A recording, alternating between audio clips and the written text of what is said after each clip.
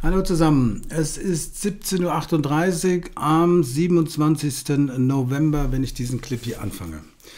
Der DAX schließt bei 13.335,68 und das ist damit der höchste Kurs seit dem 21.02.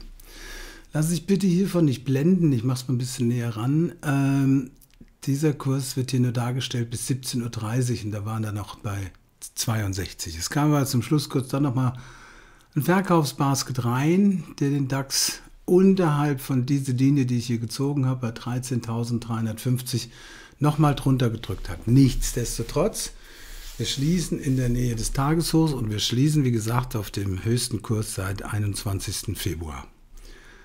Ähm, ich fand die, die letzte und die vorangegangene Woche war deshalb so interessant, weil ähm, man hat so richtig schön die Branchenrotation gesehen. Da waren es dann irgendwann mal die Banken und Versicherungen, dann kamen die Autos dran, dann ähm, war es die Chemie, ähm, dann kamen die ähm, als letztes jetzt die Versorger dran und jetzt kommen die Firmen, die davon profitieren können, dass das vielleicht, sagen wir mal, Anfang, Mitte Februar irgendwie ein bisschen deutlicher besser geht. Sowas wie Pernod Ricard, ja, die kommen jetzt auf einmal dran. Ähm, ich finde es unheimlich schwierig hier momentan zu sagen. Also mir reicht es nicht, diese 13,335 zu sagen, der Markt ist long. Ich kann jetzt schon das Ergebnis vorwegnehmen. Das ist vielleicht eine 51 zu 49 Chance für den Markt nach oben. Wichtiger als die Technik scheint mir momentan der Chart selbst zu sein. Gehen wir es mal Punkt für Punkt durch. Ich schiebe es mal hier rüber. Die Bänder, wer den Mittwochfilm gesehen hat, die gehen deutlicher zusammen, also wesentlich deutlicher. Das heißt eigentlich Seitwärtsphase oder leicht korrektiv.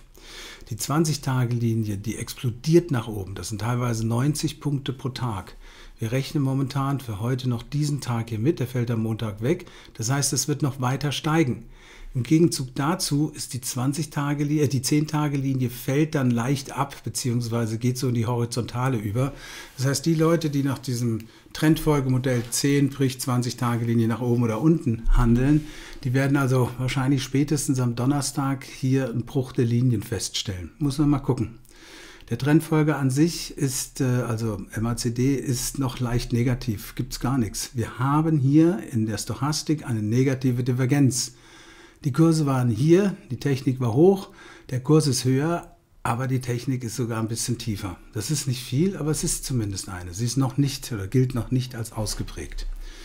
Also von daher habe ich eigentlich wirklich nur die Chartpunkte und jetzt muss ich den zweiten hier noch einzeichnen. Das ist dieser hier. Ein bisschen höher gemacht. Der kopuliert gerade eben wunderschön mit der 20-Tage-Linie und mit diesem letzten Zwischentief hier. Das sind die beiden Punkte. Nochmal, lassen Sie sich hiervon nicht verrückt machen. Wir sind bei 35. Ich zeige Ihnen mal, wo sind wir denn da? Da sind wir, na, beweg dich. Da sind wir ungefähr hier, wo jetzt die Maus ist. Also wir sind drunter. Aber höchster Kurs seit 21.02. Wall Street handelt heute nur bis 19 Uhr. Für diejenigen, die den Film jetzt schon sehen und nicht erst am Samstag oder am Sonntag. Also ich kann mit der Technik momentan hier, die hat keinerlei Signalwirkung, nicht allzu viel anfangen. Ich orientiere mich an den Chartpunkten, da bin ich oben bei der 13.350 und unten hier sowas bei der 12. Na, wo so denn? Bei der, rund bei der 13.000, 12.990. Ähm, erst drüber mit Schlusskurs mindestens mit einer Stundenkerze oder drunter mit Schlusskurs von mindestens einer Stundenkerze werde ich positiv oder negativ. Dazwischen ist es für mich hier momentan weder Fisch noch Fleisch. Ich habe euch für beide Fälle mal einen Schein mitgebracht.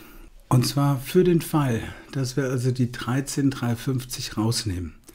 Jetzt gibt es folgende Conditio sine qua non. Die meisten Stops im Daytrading, also im DAX-Bereich, liegen so 25 Punkte. Das würde also heißen 13.375.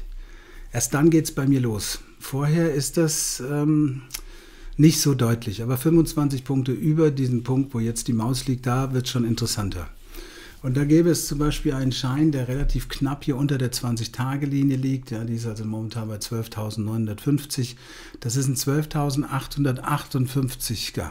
Also ist momentan ein 28er Hebel und hat sein unlimitierter Schein, hat die Kennnummer GF69J4. Das ist eine Möglichkeit. Aber wie gesagt, warten, bis das Ding hier drüber rausgeht, mindestens mit einer Stundenkerze. Vom Short her muss ich hier hintergehen. Und zwar da auch 100 Punkte weg. Das ist dann so 13.570 ungefähr. Das ist, das ist knapp. Ja, das ist also knapp im Sinne von, das ist ein sehr hoher Hebel, das wird nicht jedem gefallen. Deswegen tendiere ich zu diesem hier, 13.748. Trotzdem sollte der meines Erachtens nach gestoppt werden. Spätestens, wenn wir über diese Kerze, dieses Hoch vom 3.9. gehen, bei 13.465. Also der hier ist auch ein Open-End-Schein, der Put GD31V1. Aber auch der kommt erst dann in Frage, und da kann man eventuell ein bisschen tiefer gehen, wenn wir hier die 13.000 mal mindestens um 25 Punkte unterbieten. Das ist, ähm, ich möchte nicht sagen, das ist ein langweiliger Markt, aber die Aktien machen mehr Spaß als der Index selbst, muss man sich immer mal wieder überlegen. Und Aktien, da kann ich euch das hier zeigen für die, die den Film am Mittwoch nicht gesehen haben. Jetzt am kommenden Montag, das ist die Seite der Börse-frankfurt.de, mache ich hier so einen charttechnischen Überblick.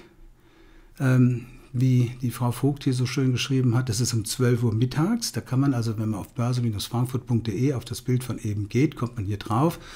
Das ist kostenlos, da kann man sich anmelden. Da geht es um Allianz, Commerzbank, Bayer, VW, SAP und Adidas. Adidas ist der Satzwert. Wenn irgendwie am Montag noch was ganz Tolles irgendwo passiert, dann werde ich die Adidas durch den tollen Wert, der dann da reinkommt, ersetzen. Aber das ist eine Möglichkeit, 12 Uhr am Montag.